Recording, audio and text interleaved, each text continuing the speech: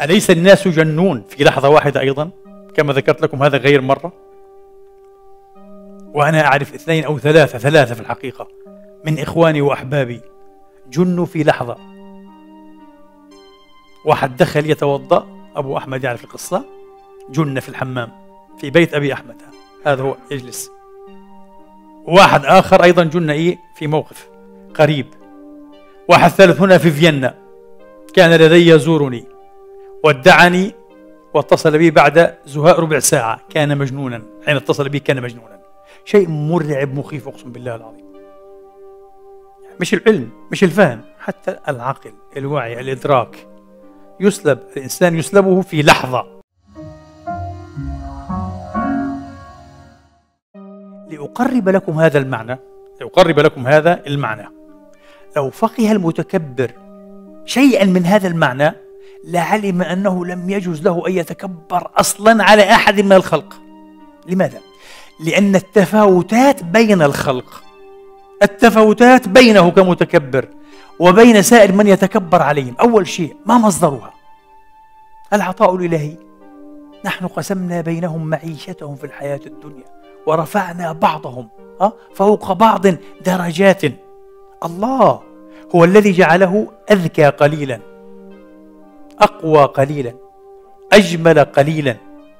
الله هو الذي يسر له سبيل الغنى سبيل التسلط والنفوذ سبيل العلم والفهم. أليس كذلك؟ أليس الناس جنون في لحظة واحدة أيضا كما ذكرت لكم هذا غير مرة؟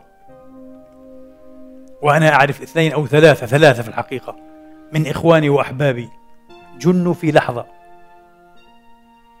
واحد دخل يتوضأ أبو أحمد يعرف القصة. جن في الحمام في بيت أبي أحمد. هذا هو يجلس واحد آخر أيضا جن إيه؟ في موقف قريب. واحد ثالث هنا في فيينا. كان لدي يزورني. ودعني واتصل بي بعد زهاء ربع ساعة. كان مجنونا. حين اتصل بي كان مجنونا. شيء مرعب مخيف أقسم بالله العظيم. مش العلم مش الفهم حتى العقل الوعي الإدراك. يسلب الإنسان يسلبه في لحظة. الله هو قاسم الأرزاق كل الأرزاق مادية ومعنوية. فالتفاوتات مصدرها ما هو؟ الله. والله تبارك وتعالى إذا كان مصدرا للتفاوتات فحتما وبالضرورة ولا شك ولا ريب ولا تردد في أن حكمة بالغة وراء هذا القسم. في أن حكمة بالغة تقبع وراء هذا القسم. إن فهمت هذه الحكمة سارعت في ماذا؟ فيما يرام لك من وجوه الخير. واستفدت من هذه التفاوتات بما يساعدك على إكمال مسيرتك التكاملية. فتكدح الكدح التكاملي لله تبارك وتعالى. وتصير في كل يوم أجمل وأحسن وأفضل وأخير وأكرم وأرحم. كل يوم.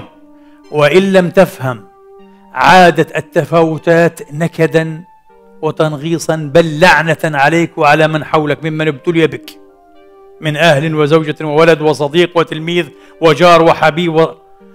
ومعرفة والعياذ بالله. فأما الإنسان إذا ما ابتلاه ربه فأكرمه ونعمه فيقول ربي أكرمن. هذا الإنسان الكافر على فكرة. قيل هو أبو جهل وقيل غيره. هذا الكافر عموما.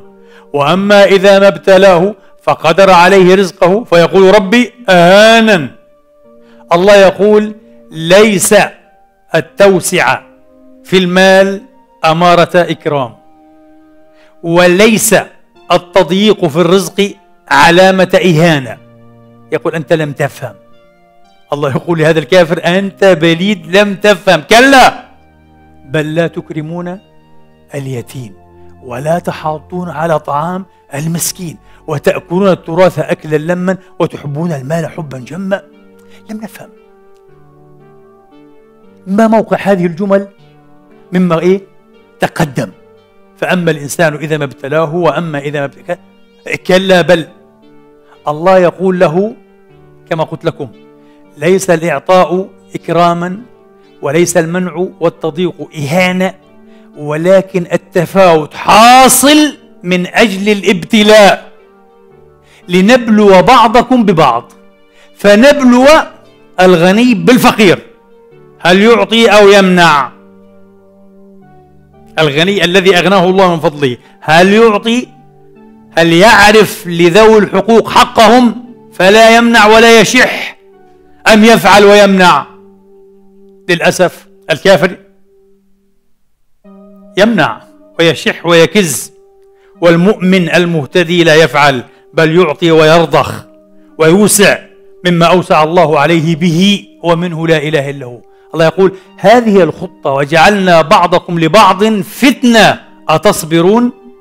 وكذلك فتنا بعضهم ببعض ليقولوا أهؤلاء من الله عليهم من بيننا؟ أليس الله بأعلم بالشاكرين اللهم بلى. يقول هذه ابتلاءات. هذه التفاوتات المقدرة مرادة لله ومفعولة لله ومجعولة بجعل الله للابتلاء والامتحان. ليس للإكرام لكي إيه؟ يأخذك الزهو والعجب والفخر بها وتفخر بها على غيرك أبدا. وليس لكي تجمع وتمنع وتستكثر أبدا. أنت هكذا رسبت في الامتحان. عاندت الخطة الإلهية.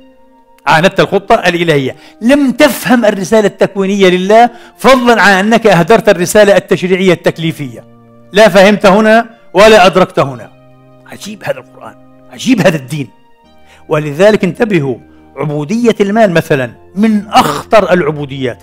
قبل أن أدلف إلى هذا المعنى لابد أن أكمل المعنى الذي شرعت في تبيانه وهو ماذا؟ هذه التفاوتات إذا أولا أيها الإخوة الحظها باللحاظين.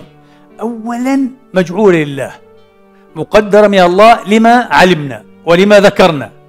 ثانيا على ما تدل تدل على أن الذي لا يليق أن يدخل في مقايسة ومقارنة هو الواحد الأحد. من الغني غنى مطلقا؟ من الذي لا يبيد ولا ينفد ما عنده؟ الواحد الأحد. ما عندكم؟ ينفد. وما عند الله؟ باق.